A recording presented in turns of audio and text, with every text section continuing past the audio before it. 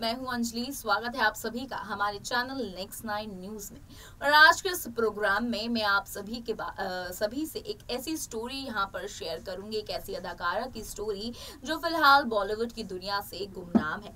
जी हाँ दोस्तों, बॉलीवुड की दुनिया जहाँ पर एक रात में ही आपको चकाचौंध की दुनिया दिखा सकती है तो वहीं पर दो दिन फ़िल्में अगर फ्लॉप हो जाएँ तो आपको अर्श से फर्श पर ले आती है। जी हाँ दोस्तों, जहाँ पर हम देखते हैं, बॉलीवुड की लाइफ में एक दो फ़िल्में हिट करते ही कई हीरो हीरोइंस आज अपना नाम बना चुके हैं तो वहीं पर अगर उनकी दो से तीन फ़िल्में भी फ्लॉप हो जाएँ तो वो कहीं ना कहीं अब उनकी वैल्यू नहीं रहती है। और आज के इस वीडियो में हम ऐसे ऐसी अदाकारा की बात कर रहे हैं, जिन्होंने नब्बे के दशक में महेश भट्ट की फ़िल्म आशिकी से नाम कमाया था। जी हाँ दोस्तों, इस प्रोग्राम में बात कर रहे हैं अनु अग्रवाल की ज़िंदगी। की हालाँकि उन्होंने आशिकी में काम किया, महज इक्कीस साल की उम्र में उन्होंने जो फेम पाया, वो सिर्फ़ रातों रात पाया। और यहाँ पर लेकिन जब उन्होंने दूसरे फ़िल्मों में अपना हाथ आजमाया तो उनको दूसरी फ़िल्मों से कुछ ज़्यादा यहाँ पर वैल्यू नहीं मिली। ना ही उनको इतना फेम मिला।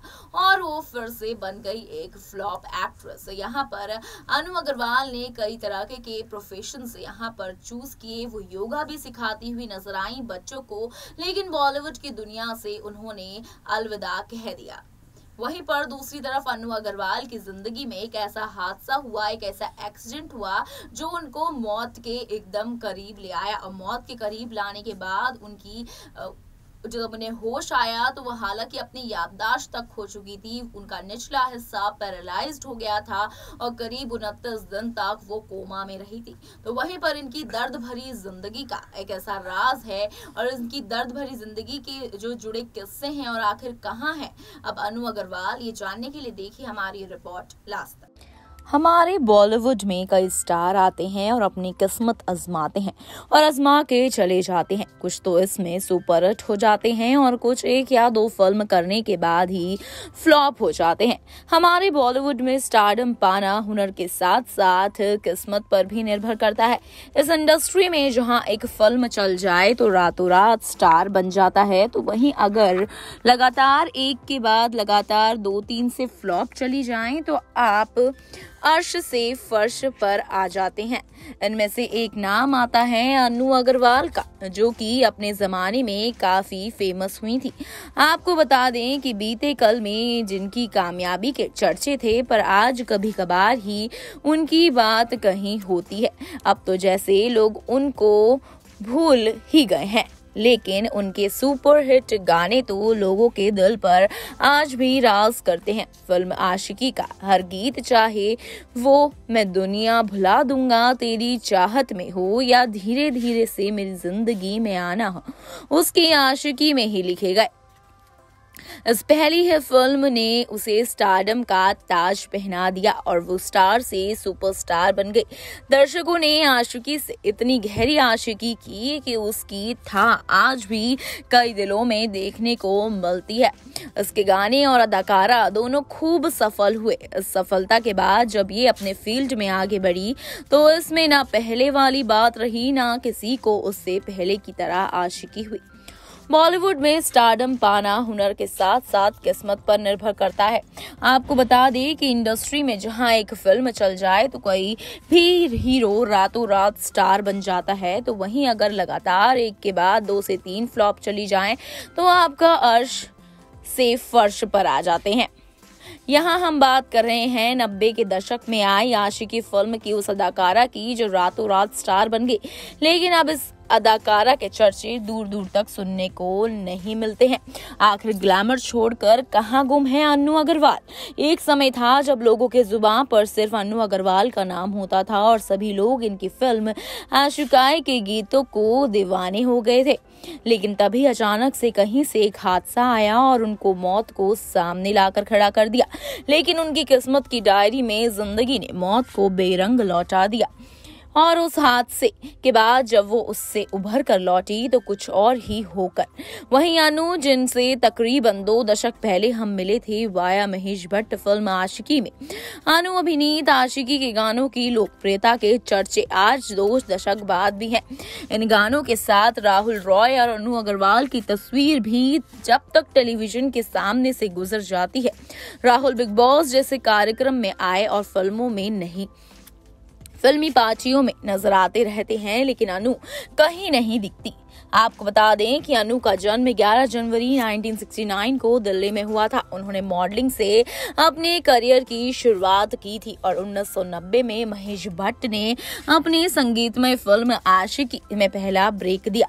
ये महज इक्कीस साल की उम्र में अभिनय के क्षेत्र में कदम रखने वाली अनु अपने बेहतरीन अभिनय और मासूम चेहरे के बूते दर्शकों की पसंदीदा अदाकाराओं में शुमार हो गई, लेकिन उनका स्टारडम का ग्राफ आगे मिली फ़िल्मों में बढ़ने की बजाय घटता गया। फ़िल्म आशिकाई के बाद उन्हें मिली गजब, तमाशा, खलनायिका, किंग अंकल बीपीएलओए कन्यादान और रिटर्न टू ज्वेल थी फ़िल्में। कब पर्दे पर आई और कब चली गई, पता ही नहीं चला। हिंदी फ़िल्मों की असफलता के बीच उन्होंने एक तमिल फ़िल्म थिरुदा थिरुदा में काम किया और 1996 के बाद अनु किसी और फ़िल्म में नहीं दिखाई दी। कुछ दिन वो एक टीवी वीजे भी रही और 1997 में वे योगा की ओर मुखातिब हो गई। यहीं से गुमनामी की ओर भी मुड़ गई। 1999 में एक सड़क दुर्घटना में उनके जीवन का रुख ही मोड़ दिया। इस हादसे ने न सिर्फ़ उनकी याददाश्त को प्रभावित किया, उन्हें चलने फिरने में अक्षम किया, कर दिया। उनतीस दिन के कोमा के बाद वह होश में आई तो खुद को नहीं, अपनी भाषा भी भूल चुकी थी। शरीर का निचला हिस्सा पैरालाइज था और लंबे उपचार और प्रबल जीजी शिवा के चलते वह इससे उभरने में कामयाब हो गई। और अनु अब सिनेमा से दूर एक आम मगर खुशनुमा ज़िंदगी बिता रहे हैं। अनु को ये ज़िंदगी मौत से जूझकर हासिल हुई और वहाँ मुंबई में अकेली रहती हैं और बच्चों को योगा सिखाती हैं और खुद के सवालों के जवाब तनाशते हुए एक किताब लिख रही हैं जो अब पूरी हो चुकी है। पर्दे से उनकी विरक्ति की वहच उसकी चकाचौंध के पीछे का स्याह है, अंधेरा है और मीडिया से दूरी का कारण उसमें बेबुनियाद गढ़ी जाने वाली खबरें। अनु अड़तालीस की हो चुकी हैं। उन्होंने अब तक शादी भी नहीं की है। वे अकेले अपना जीवन गुजार रही हैं। फ़िल्म दुनिया से भी उनकी खोज खबर लेने वाला कोई नहीं। आज अगर आप उन्हें देखेंगे तो शायद पहचान भी नहीं पाएँगे।